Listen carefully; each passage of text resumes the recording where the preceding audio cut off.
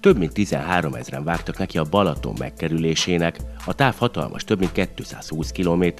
Pranner Gábor a Paksi rendőrkapitányság munkatársa is futott, egyedül váltótárs nélkül vállalta a feladatot.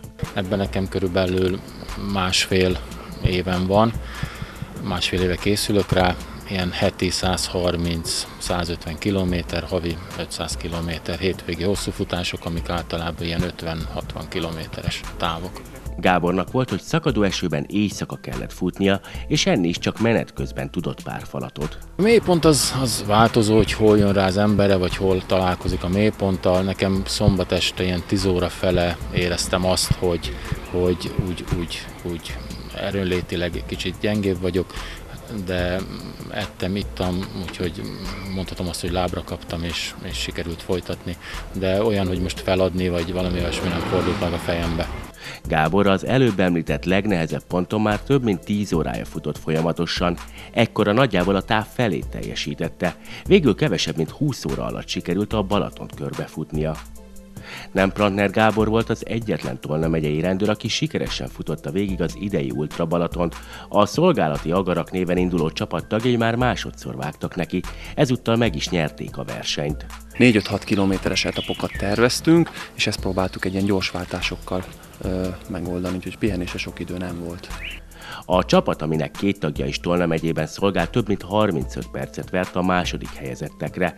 Ráadásul a dolgukat az időjárás is nehezítette. Éjszaka megjött egy eső, és a kb. fél távot azt esőben és sötétbe teljesítettük mert mi, tehát úgy néz ki, hogy mindig úgy számolják ki körülbelül a szervezők, hogy reggel hétre érjen be mindenki, és mi picit gyorsabban teljesítettük, mint más, ezért mi este 4-6-kor indultunk, és akkor a 13 óra 54 alatt teljesítettük, így akkor reggelre értünk be. A Tolna megyei rendőrök között volt, aki családostul indult. Huszti Gábor és Boldog Ildikó házastársakként teljesítették csapatban a távot. Mi egy technikai megbeszélést tartottunk, ahol mindenki eldönthette azt, hogy összességében milyen távot szeretne futni, és hogy ezek ezeket milyen leosztásban tudná teljesíteni. Tehát tulajdonképpen a futók jelentkeztek egyes szakaszokra, és aztán a végén a megmaradó távokat pedig az erősebb futók között osztottuk szét. Nem nagyon sokat segített a, segítettek a csapattagok egymásnak, mert minden egyes váltópontnál